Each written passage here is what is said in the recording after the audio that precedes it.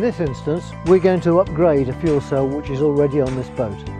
The fuel cell is 12 years old, it's operating at about 60% of its capacity and it's time for an upgrade. So let's show you where it is.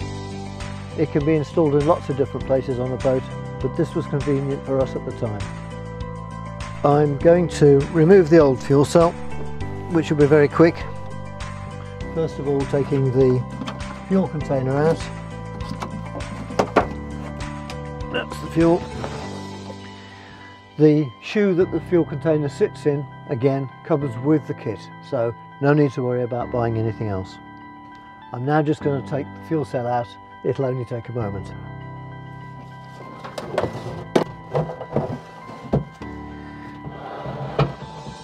So This is three or four generations old and now we put the new fuel cell in. We have the advantage here that the fuel cell's been in before.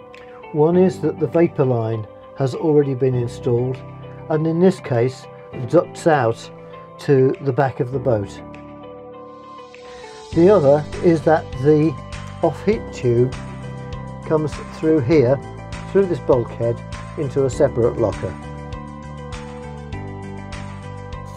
So short length this time, simply put on there and our Bluetooth adapter is going to go in there.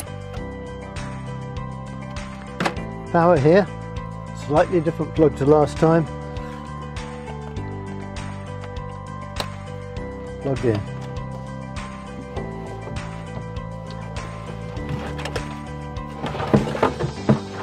Now I just need to line the hose up with the old hose that's in there. Now we have new fuel cell firmly in place. Okay, so we've now installed the fuel cell. We're going to install the fuel back in the fuel container. Fuel line's very simple. We just take the line screw it into the top of the M10 and that's the job done. And then my next job is to connect up the cables to the batteries. So you saw me positioning that short length of off-heat duct that we put on the fuel cell neatly up against that hole which went in the side of the locker there. The reason for that is to get the heat from the fuel cell away so that the fuel cell doesn't rebreathe that heat.